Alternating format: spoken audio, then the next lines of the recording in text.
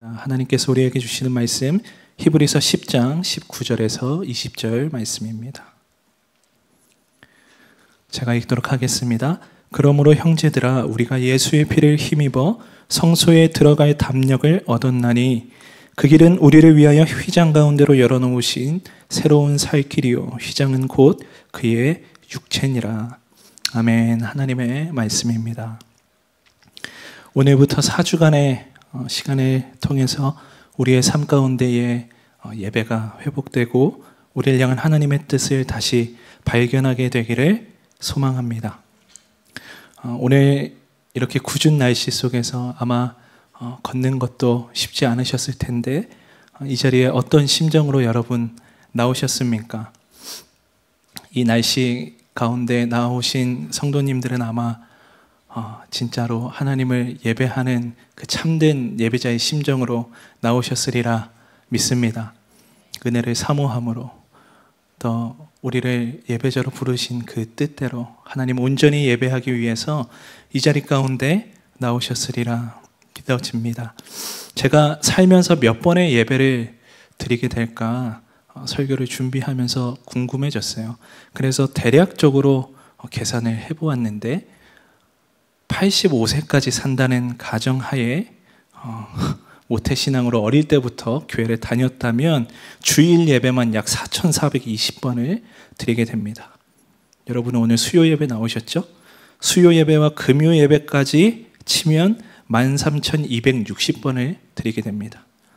거기에 뭐 특별 집회도 있고 뭐 여러 예배 현장들이 있는데 그런 것까지 치면 대략 15,000번 정도의 예배를 우리가 평생에 드리게 되는 거예요. 어마어마하게 많은 예배 자리에 우리가 있게 되는 거죠.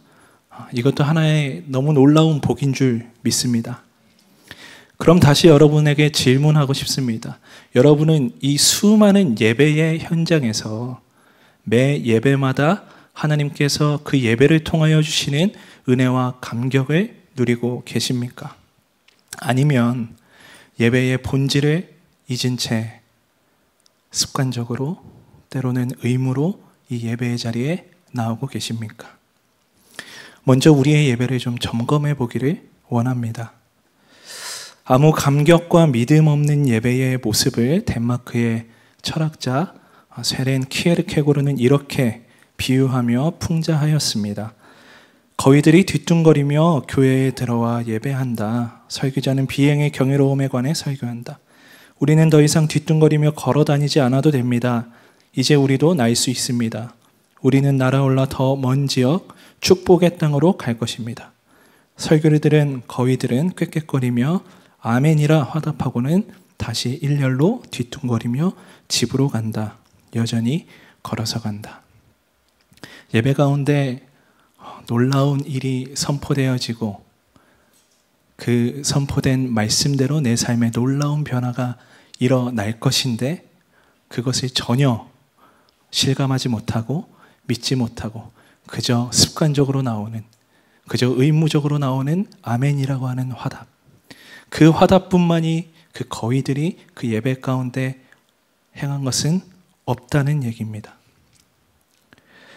만약 이곳에 집거위들과 비슷하게 습관적으로 이곳에 나와 계신 분이 계시다면 오늘의 이 말씀을 통해서 회복되어지는 은혜가 있기를 축복합니다. 오늘 본문 19절을 보도록 하겠습니다. 그러므로 형제들아 우리가 예수의 피를 힘입어 성소에 들어갈 담력을 얻었나니 본문에서 이렇게 표현하고 있습니다. 성소에 들어갈 담력을 얻었나니 담력이라는 표현을 쓰고 있어요. 담력은 어떨 때 보통 필요하죠? 흔히 우리가 어떤 두려운 일을 만나거나 무서운 곳에 가야 할 때 담력이라는 표현을 쓰곤 합니다. 함께 읽은 우리 본문 19절을 개혁개정에서는 성소라고 번역하고 있지만 새 번역에서는 지성소로 번역을 하고 있습니다. 지성소는 히브리 말로 거룩함 중에 거룩함, 최고로 거룩함, 거룩한 곳이라는 뜻입니다. 하나님의 임재가 직접적으로 임하는 즉 하나님을 대면하여 만나는 곳이 지성소라는 뜻입니다. 지성소는 이름 그대로 지극히 거룩한 장소이기 때문에 아무나 들어갈 수가 없고 함부로 들어가면 그 자리에서 즉사 당하게 됩니다. 이 지성소에는 1년에 딱 한 번 대제사장만 들어갈 수 있는데 대속죄일에 옷을 잘 갖춰 입고 정결하게 씻고 또 그들의 죄를 대속할 동물의 피를 잘 담아서 어, 들어가야지만 어, 그들의 목숨을 부지할 수 있었다고 합니다. 희생 제물의 죄가 희생 제물의 피가 없이 그냥 들어가게 될 경우에는 그것도 마찬가지로 그 자리에서 죽었다고 해요. 바로 죄된 우리의 인간의 모습으로 하나님과 대면할 수 없다는 것이죠. 그분은 거룩 그 자체이시기 때문입니다. 몇 해 전에 오산에 있는 세계성막 복음센터라는 곳에 다녀온 적이 있습니다. 그곳에 대제사장이 지성소에 입고 들어가는 옷을 이렇게 만들어 놓은 것을 본 적이 있는데 옷에 은방울을 막 달아놓고 허리에는 끈을 묶고 들어갔더라고요. 그 이유를 물어보니까 이 대제사장이 혹시나 안에 들어갔다가 죽게 될 경우에 그 시체를 거두러 누가 들어가면 그 사람도 같이 죽게 되는 거예요. 그래서 이 은방울을 매달아 놓고 안에서 아무 은방울 소리가 나지 않으면 아, 죽었구나 생각하고 메고 들어간 그 끈을 이렇게 밖에서 당겨가지고 시체를 수습했다고 합니다. 상상해 보세요. 여러분이 만약에 대제사장이라고 생각해 보세요. 대속죄일에 모든 의식을 다 치르고 하나도 빠짐없이 완벽하게 해 놨다고 하더라도 만약에 내 죄가 이 모든 과정 가운데 온전히 시켜지지 않았을 경우에 들어가게 되면 즉사당할 수도 있는 그 상황이 얼마나 두렵고 떨렸겠습니까? 어쩌면 하나님을 만나러 들어가는 그 지성소, 그곳에 들어가는 대제사장의 심정은 하나님을 만난다는 기대와 소망보다는 두려움과 떨림이 더 컸을지도 모르겠습니다. 그렇기에 하나님을 만나러 지성소에 들어갈 때 담력이 필요했던 거예요. 그런데요, 사실 이것도 대제사장 정도 되어야지만 주어지는 특권이었습니다. 일반 성도들은 그저 성막들에서 자신들의 죄가 사하여지기를 간절히 바라며 지성소로 들어가는 대제사장을 바라볼 뿐이었습니다. 이렇듯 하나님을 만나는 것, 하나님을 대면하는 일은 아무에게나 쉽게 주어지는 일이 아니었습니다. 간절한 소망이 있어도 하나님을 향한 갈망이 있어도 그저 대속죄일에 한 번, 대제사장만 들어갈 수 있었던 거예요. 지금으로서는 사실 우리가 아무리 뭐 상상한다고 한들 어떻게 그때의 그 모든 환경과 상황들을 알 수 있겠습니까? 우리는 언제 어디서든 하나님을 만날 수 있고 하나님을 예배할 수 있어요. 심지어 오늘 같은 날 눈이 와서 오기 힘드실 때 온라인으로도 예배 드리실 수 있습니다. 너무 감사한 일이죠. 그런데요, 우리가 절대로 이것에서 간과해서는 안 될 사실이 있습니다. 바로 그때의 그 지성소의 예배 이후에 지금의 예배가 가능해질 수 있었던 이유는 무엇인가 하는 것입니다. 지성소에 들어갈 때 동물의 피를 가지고 들어가야 한다고 말씀드렸습니다. 사실은 내 죄를 씻기 위해서 내가 죽고 그 피를 하나님 앞에 드려야 하는데 그럴 수가 없으니까 정결한 동물에 나의 죄를 전가시키고 그 동물의 죄를 대신 뽑고 뿌림으로 나의 죄가 대속되어지는 그 과정을 거치는 것이죠. 바로 그 동물이 대속제물이라고 하는 것입니다.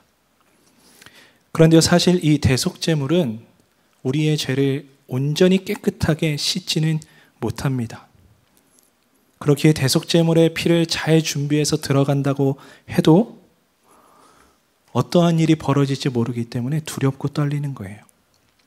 오늘 본문이 있는 히브리서 10장 1절에서 4절 보도록 하겠습니다. 율법은 장차 올 좋은 일의 그림자일 뿐이요 참 형상이 아니므로 해마다 늘 드리는 같은 제사로는 나오는 자들을 언제나 온전하게 할 수 없느니라. 그렇지 아니하면 섬기는 자들이 단번에 정결하게 되어 다시 죄를 깨닫는 일이 없으리니 어찌 제사 드리는 일을 그치지 아니하였으리요. 그러나 이 제사들에게는 해마다 죄를 기억하게 하는 것이 있나니 이는 황소와 염소의 피가 능히 죄를 없이 하지 못함이라. 정확하게 성경에 기록하고 있어요. 그러면서 5절에 이렇게 말씀하십니다. 그러므로 주께서 세상에 임하실 때에 이르시되 하나님이 제사와 예물을 원하지 아니하시고 오직 나를 위하여 한 몸을 예비하셨도다. 우리와 친밀하게 함께 하시기를 원하시는 하나님께서 죄로 인해 죽을 수밖에 없는 우리를 위해서 한 몸, 예수 그리스도를 미리 예비하셨습니다. 10절과 14절, 17절과 18절을 보도록 하겠습니다. 이 뜻을 따라 예수 그리스도의 몸을 단번에 들이심으로 말미암아 우리가 거룩함을 얻었노라. 그가 거룩하게 된 자들을 한 번의 제사로 영원히 온전하게 하셨느니라. 또 그들의 죄와 그들의 불법을 내가 다시 기억하지 아니하리라 하셨으니 이것들을 사하였은즉 다시 죄를 위하여 제사 드릴 것이 없느니라. 아멘. 이 대속제물을 가지고 하나님 앞에 어, 그들의 죄를 씻는 그 예식을 매해 했어야 하는 거예요. 매해 새로운 동물의 피를 내고 하나님 앞에 씻김 받고 또 그 다음에 또 대속제일에 나의 모든 죄를 씻김 받고 그러나 오늘 성경에서 정확하게 말씀하세요. 예수 그리스도의 몸을 단번에 들이심으로 말미암아 우리가 거룩함을 얻었노라. 이것들을 사하였은즉 다시 죄를 위하여 제사 드릴 일이 없느니라. 하나님께서 예비하신 한 몸, 예수 그리스도께서 하나님의 우리를 향한 뜻에 따라서 자신의 몸을 단번에 들이심으로 우리가 거룩함을 얻게 된 거예요. 그 한 번의 제사로 우리는 온전함을 얻게 되었습니다. 로마서 3장 24절에서 이렇게 말합니다. 그리스도 예수 안에 있는 속량으로 말미암아 하나님의 은혜로 값없이 의롭다 하심을 얻은 자 되었느니라. 아멘. 예수 그리스도를 믿고 그분의 피로 말미암아 씻김 받을 때 하나님께서는 우리의 죄와 불법을 다시는 기억하지 않으시고 우리를 의롭다 여겨 주신다는 겁니다. 이것이 복음입니다. 그러면서 이어지는 본문이 바로 오늘 읽은 19절과 20절의 내용이에요. 그러므로 우리가 예수의 피를 힘입어 성소에 들어갈 담력을 얻었나니. 동물의 피를 낼 때는 이 죄가 과연 씻겨졌을까? 내가 정말 깨끗해졌을까? 늘 불안하고 두려워했던 그 인생에서 단번에 들이심으로 이것들을 사하였은즉 다시 죄를 위하여 제사 드릴 일이 없느니라 말씀하신 그 모든 것을 짊어지고 단번에 몸을 내어 주신 예수 그리스도로 말미암아 이제는 우리가 하나님을 만날 때에 두려워할 필요가 없다는 거예요. 예수 그리스도께서 친히 제물이 되어 주시고 그 은혜로 우리가 하나님 앞에 온전함을 입었기 때문입니다. 20절입니다. 우리 한 목소리로 읽을까요? 그 길은 우리를 위하여 휘장 가운데로 열어놓으신 새로운 살 길이요. 휘장은 곧 그의 육체니라. 아멘. 예수 그리스도의 육체, 곧 휘장을 찢으심으로 새로운 살 길을 우리에게 열어 주신 겁니다. 예수님께서 십자가에 달려 돌아가실 때 그분의 몸을 거룩한 산 제사로 올려드리는 그 순간 하나님과 우리를 가로막고 있던 그 두꺼운 휘장이 위에서 아래로 갈라짐으로 우리를 가로막고 있던 모든 담이 허물어진 거예요. 하나님께서 이제는 우리에게 나아오라고 말씀하시는 거예요. 본문 19절에 담력이라는 단어로 번역된 헬라어 파르레시아는 숨김없이 또는 자유로움이라는 뜻으로 사용되어지는 단어입니다. 담력이라는 단어가 숨김없이 자유롭게라는 뜻이라는 거예요. 죽을 수밖에 없는 죄로 가득한 우리의 인생이지만 더 이상 우리의 어떠함 때문에 나의 죄 때문에 하나님 앞으로 나아가지 못하는 어려움을 겪지 말라는 겁니다. 휘장이 찢어지는 그 장면에 계속해서 묵상을 하는데 그 순간에 하나님이 과연 어떤 말씀을 하셨을까? 어떤 마음이셨을까 하는 마음이 문득 들었어요. 그러면서 하나님께서 저에게 이렇게 말씀하시는 것 같았습니다. 내가 너의 아픔을 안다. 너의 연약함을 알고 너의 무너짐을 안다. 어느 것 하나 숨기지 말고 자유함으로 내가 예비한 길로 나오렴. 내가 널 위해 나의 사랑하는 아들을 보냈고 모든 죄를 내 아들의 피로 다 씻었다. 우리를 향한 하나님의 친밀하신 초대입니다. 나의 자격과 상관없이 나의 어떠함과 상관없이 하나님이 우리를 위해 내어주신 새로운 살길. 오직 예수 그리스도 그 보혈을 의지하여 하나님 앞에 나와 그저 엎드릴 때에 우리에게 주어지는 그 은혜. 우리가 지금 드리고 있는 이 예배가 바로 그 살길이라는 거예요. 믿으십니까? 지금 이 예배가 주님이 우리를 위하여 예비하신 새롭게 내어주신 살길이라는데 어찌 우리의 예배가 껍데기처럼 드리는 예배로 그칠 수 있겠습니까? 저는 모태신앙으로 태어나서 아주 어릴 때부터 어, 부모님 뱃속에서부터 교회를 다녔습니다.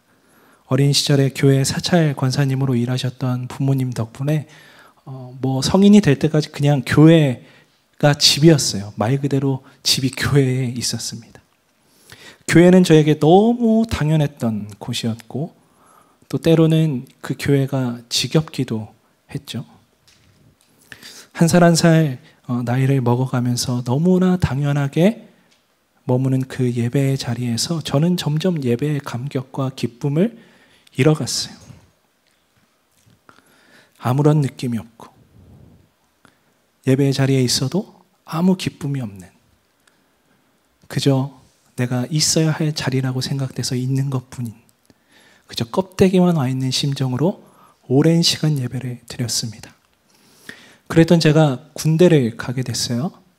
제가 해군으로 입대했는데 자대 배치를 받고 가보니까 민간인이 아무도 없는 아주 작은 무인도로 발령이 난 거예요.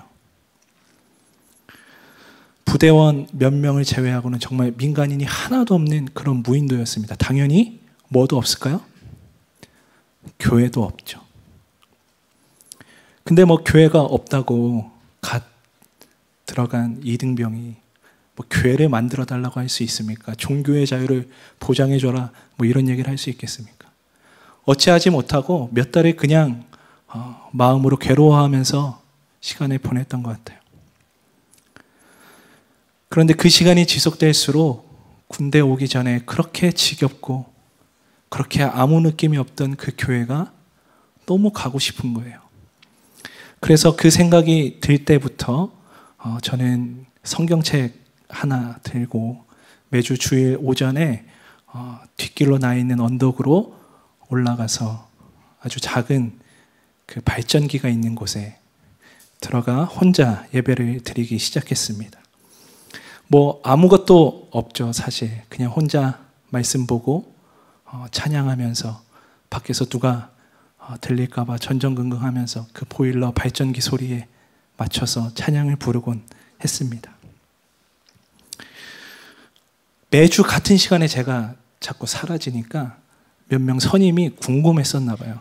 자꾸 어디를 가는 거냐고. 그래서 솔직하게 얘기를 했습니다. 그랬더니 그 중에 이제 그제서야 본인도 교회를 예전에 다녔었다 어, 말하면서 어, 같이 하자 해서 한 네 명 정도가 어, 이렇게 그 보일러실에서 예배를 드렸던 기억이 있습니다. 어, 그곳에서 드렸던 그 예배가 아직도 너무 생생하게 기억이 나고 그때의 감격이 저의 안에 많이 차오릅니다. 휴가를 한 번씩 나가서 교회 예배당에 가서 앉아만 있어도 그냥 눈물이 주룩주룩 나는 어, 그러한 때를 보냈죠. 근데 또 시간이 흐르고 전역하게 되면서 또 당연하게 머물게 되는 그 예배의 여러 현장 속에서 저는 또 그 감격을 잃어버리곤 하는 거예요. 그럴 때마다 이때의 기억을 또 되새기면서 아, 나의 예배가 하나님 앞에 정말로 전심으로 드려졌던 그런 때도 있었는데 나의 예배가 이대로 머물러서는 안 되겠다 하며 생각하기도 합니다. 저의 개인적인 경험담이지만 여러분들도 아마 다 겪으셨을 거예요. 우리가 공통적으로 겪었던 사건들이 있죠. 불과 2, 3년 전만 해도 우리는 이곳에서 함께 예배 드릴 수 없었습니다. 어, 꽤 오랜 시간 지속되었던 코로나19 상황을 여러분 다 아실 거예요. 제가 예배를 맡아서 사역을 하고 있는데 저는 예배 담당자니까 매 예배마다 뭐 오프라인 예배, 온라인 예배 다 들어가서 그 예배를 섬겼는데 어, 정말로 아직도 그 텅 비어 있는 그 예배당 어, 그저 그때 당시에 유기성 원로 목사님 혼자 이렇게 단에서 설교하시고 어, 텅 비어 있는 예배당이 아직도 기억에 많이 납니다. 그때 몇몇 풍경들이 생각이 나는데 어, 그 중에 하나는 어, 본당에서 교회에서 예배를 너무 드리고 싶으신데 본당에는 방역 지침 때문에 들어갈 수가 없어서 혼자 마스크 끼고 조용히 어, 교회 로비에서 또 바깥에서 예배 드리시던 성도님들. 그리고 코로나 19가 어, 풀리고 그 예배당 본당으로 처음 들어와서 예배를 드리게 되는 날, 그 입구를 들어오시면서부터 어, 울면서 들어오시는 성도님의 모습들, 그 모든 게 아직도 생생하게 기억이 납니다. 아마 여러분들도 다 비슷한 감정과 마음을 그때 당시에 느끼셨을 거예요. 우리에게 너무나 당연하게 주어졌던 그 예배의 자리인데 그때가 딱 막히게 되고 나니까 내가 드렸던 그 예배의 자리가 얼마나 소중했는지 하나님을 대면하여 만나는 이곳이 얼마나 나에게 소중한지 그제서야 깨닫게 된 것이죠. 언제 또 그런 일이 벌어지지 않으리란 보장이 없습니다. 지금 이 순간에도 어, 몸이 쇠약해서 이곳에 나오고 싶어도 나오지 못하시는 분들도 계시고 가까이에는 우리 북한 땅에 목숨을 걸고 어, 이 예배를 드리기 위해서 숨어서 예배하고 있는 어, 지하교회 성도들도 있습니다. 그들에게 이 자리가 얼마나 간절할까요? 마크 에터베리라고 하는 분의 저서 광야를 정복한 영적 거인의 일부분입니다. 몇 년 전에 우리 교회에 암으로 죽어가던 한 여성분이 있었습니다. 그녀는 처음 암 진단을 받았을 때 자신이 걸을 수 있는 한 교회에 나올 것이라고 말했습니다. 그리고 그녀는 자신의 말을 지켰습니다. 나는 그녀의 삶이 거의 다해 가던 어느 날에 그녀가 여위고 허약해진 몸으로 천천히 예배당 안으로 들어오던 모습을 지금도 생생히 기억하고 있습니다. 그녀는 머리카락이 거의 다 빠진 상태였고 얼굴빛은 매우 창백해 보였습니다. 남편이 산소 마스크를 들고 그녀 옆에서 함께 걷고 있었습니다. 그는 그녀를 맨 뒷자리에 조심스럽게 앉혔고 그녀는 예배를 드렸습니다. 하나님께 손을 들라는 가사의 찬양을 부르는 동안 그녀는 야윈 양손을 위로 들어 올렸고 나는 그 모습을 보면서 눈물을 흘려야 했습니다. 그녀는 힘없이 떨리는 손이었지만 계속해 들고 있었고 눈을 감고 약간의 미소를 띤 채 나지막하게 찬양을 불렀습니다. 그날 예배에는 두 개의 설교가 있었습니다. 하나는 내가 단상에서 전한 설교였고 다른 하나는 맨 뒷자리에 앉았던 그녀가 한마디 말도 없이 행한 설교였습니다. 그리고 두 설교 중에 그녀의 것이 훨씬 더 강력했습니다. 아마 예화 속의 여인은 그녀의 육신이 죽어가고 있었을지는 모르겠지만 아마 그녀의 영혼은 예배 가운데 더욱더 살아났을 것이 분명합니다. 하나님의 친밀하신 초대의 기쁨으로 반응하며 그 은혜와 감격 가운데에서 주님을 만났을 것이기 때문입니다. 이 예화를 보면서 시편 27편 4절의 고백이 떠올랐어요. 내가 여호와께 바라는 한 가지 일 그것을 구하리니 곧 내가 내 평생에 여호와의 집에 살면서 여호와의 아름다움을 바라보며 그의 성전에서 사모하는 그것이라. 여러분 이 고백이 우리의 고백이 되기를 원합니다. 우리의 예배가 하나님 앞에 다시 세워지기를 원합니다. 그저 성소 바깥에서 쳐다보고 있는 예배로 그쳐지지 않기를 원합니다. 휘장을 친히 십자가에 달려 돌아가심으로 찢으시고 우리의 어떠함과는 상관없이 다 우리의 아픔을 아시고 우리의 연약함을 아시는 그 주님께서 나한테 나아오라고 말씀하시는 그 하나님의 친밀하신 초대 가운데 예수 그리스도 그 보혈로 얻은 담력으로 말미암아 그 지성소로 들어가는 우리 되기를 간절히 원합니다. 그곳에서 하나님을 만나고 또 그 기쁨과 감격으로 예배하기를 원합니다. 구약과 신약에서 예배라는 단어로 샤하라는 단어와 프로스퀴네오라는 단어를 사용하는데요. 이 단어의 뜻은 엎드리다 라는 의미를 가지고 있습니다. 여러분, 예배는 하나님 앞에 엎드리는 겁니다. 이 시간 하나님의 권능과 영광 앞에 우리의 모든 것을 다 내려놓고 그저 엎드립시다. 우리의 마음을 다해서 하나님께 우리의 찬양과 경배를 올려드립시다. 이 자리는 절대로 그저 주어진 자리가 아니고 예수의 핏값으로 예수 그리스도가 죽으심으로 우리에게 베푸신 놀라운 은혜의 자리라는 것 여러분 절대 잊지 않으시기를 바랍니다. 우리 함께 찬양하고 기도하기를 원합니다. 우리 처음에 함께 찬양했던 찬양입니다. 아, 하나님의 그 크신 사랑이 우리의 죄를 사하셨고 그 어린 양의 보혈로 말미암아 우리가 지성소에 들어갈 담력을 얻었습니다.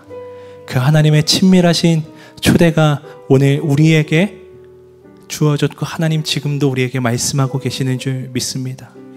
우리 그분 앞에 반응함으로 우리 찬양하며 나아갑시다.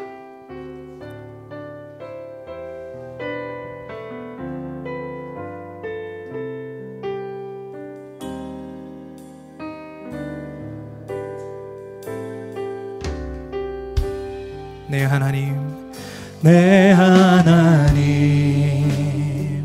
서신 발 앞에 무릎 꿇고 경배하리. 큰 권능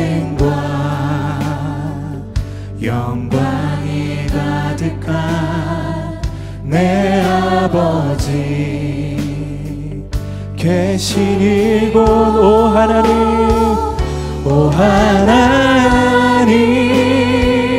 그 빛난 얼굴 배우며 두 손 들고 나아가리. 찬송과 존귀와 영광과 능력을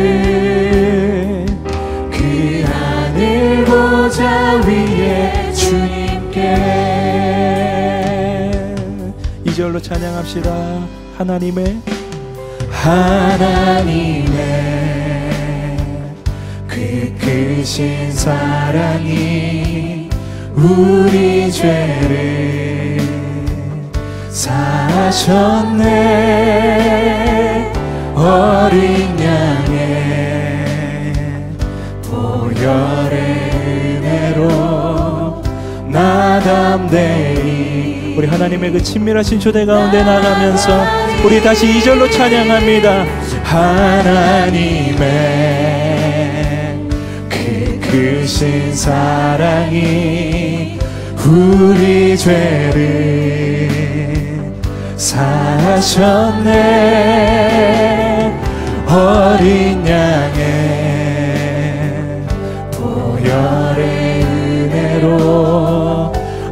담대히 나가리 오 하나님 오 하나님 그 빛난 얼굴 배우며 두 손 들고 나가리. 찬송과 존귀와 영광과 능력을 보좌 위에 주님께 오 하나님! 오 하나님! 그 빛난 얼굴 배우며 두 손 들고 나가리. 찬송과 존귀와 영광과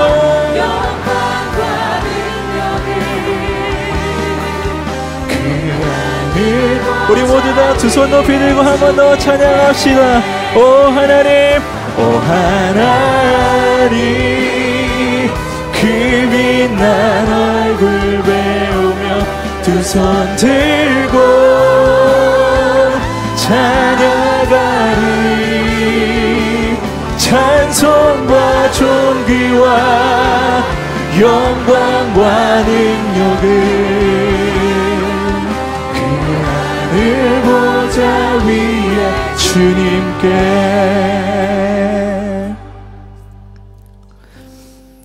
우리 함께 기도하기를 원합니다. 우리 처음으로 기도할 때에 우리가 하나님 앞에 온전히 드려, 드리지 못했던 예수 그리스도의 그 놀라운 피값으로 휘장을 찢으시고 그로 말미암아 우리에게 담력을 주셔서 하나님을 만나고 하나님을 온전히 예배하라고 허락하신 이 자리에서 하나님 우리가 하나님을 온전히 예배하지 못했습니다. 나에게 주어지는 이 당연하다 여겨진 이 자리에서 그저 습관적으로 그저 의무적으로 드렸던 하나님 나의 그 예배를 이 시간 회개하오니 하나님 나의 마음을 새롭게 하여 주옵소서. 우리 함께 기도합시다. 예배의 자리를 그저 당연한 것이라 여기고 소홀히 여겼던 죄를 주님 용서하여 주옵소서. 예수 그리스도의 피값으로 사신 자리임을 다시금 깨닫게 하여 주시옵시고 주를 향한 온전한 갈망이 나의 마음 가운데 회복되게 하여 주옵소서. 우리 주의 이름 한번 크게 부르짖고 기도합니다. 주여 하나님 나의 예배가 하나님 온전히 주님께 드려지지 못해 하나님 나의 예배의 대상이 하나님께 온전히 향하지 못했던 하나님 나의 어리석음과 하나님 나의 부족함을 이 시간 주님 앞에 회개함으로 나아가오니 하나님 이 시간 나의 마음 가운데 주님 용서하여 주옵소서. 하나님 나에게 그저 당연하게 주어졌다고 여겼던 하나님 나에게 그저 당연하게 주어지는 것이라고 하나님이 예배 자리를 소홀하게 여겼던 하나님 나의 옛 모습을 깨끗게 하여 주시고 이제는 하나님 주님 주신 그 담력으로 하나님 앞에 나아가 주님을 온전히 예배하기를 원하오니 하나님 나의 예배가 회복되게 하여 주옵소서 하나님 주님을 향한 나의 갈망이 회복되게 하여 주옵소서. 오 하나님의 놀라운 은혜 가운데 예수 그리스도의 그 놀라운 보혈 가운데 하나님 내가 나아가게 하여 주옵소서. 오 하나님 나의 삶이 나의 예배가 온전히 주님 앞에 드려지기를 원합니다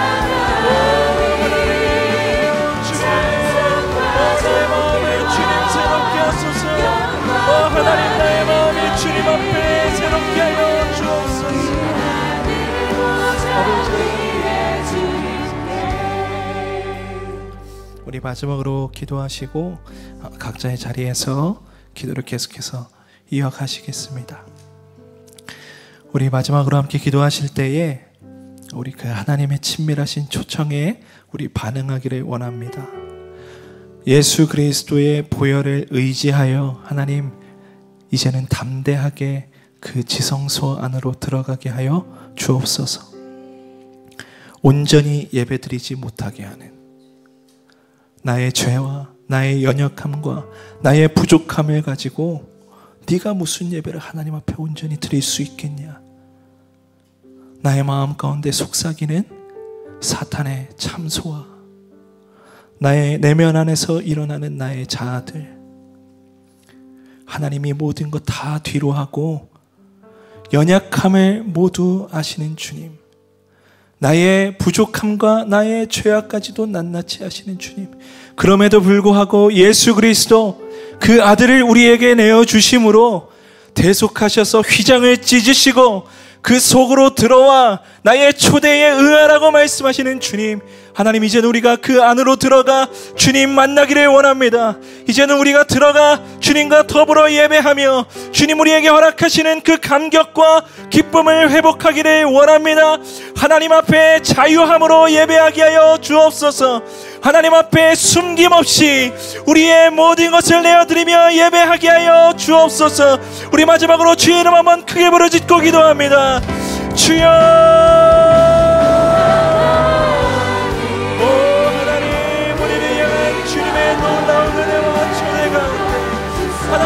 시간 내가 예수 그리스도의 보혈을 의지함으로 나아가오니 오 하나님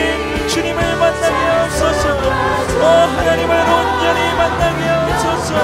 주님을 향한 온전한 예배와 감사와 경배로 하나님 앞에 나아가게 하여 주옵소서. 우리를 위하여 예비하신 새로운 살길 우리를 위하여 주님 친히 예비하신 새로운 살길로 우리가 나아가길 원하오니 예수 그리스도를 말미암아 우리의 모든 죄를 대속하시고 우리에게 하나님 가까이 나오라고 말씀하시네. 하나님 그 주님 앞에 하나님 그 보혈을 의지함으로 나아가기를 원하오니 아버지 하나님 붙드소서. 어 하나님 말씀하소서. 우리에게 그 권능을 허락하소서. 오 하나님 영광과 존귀와 찬양 받으시기 합당하신 주님 오 하나님의 그 거룩하시고 친밀한 주내 가운데 하나님 이 시간 우리가 나가기를 간절히 소망합니다 오 하나님 인도소서. 오 하나님 우리의 예배를 받으소서. 오 하나님의 놀라운 역사가 있게 하옵소서. 오 주의 놀라운 권능 안에 예수 그리스도 하나님 그 놀라우신 구원의 역사 안에 주님의 그 놀라우신 섭리 안에 하나님의 씻으심과 하나님의 초대하심과 하나님의 역사하심 안에 하나님 우리의 모든 자아와 사탄의 참수와 우리의 부족함도 하나님 모두 다 내려놓고 하나님 앞으로 간절히 나아갑니다 오 하나님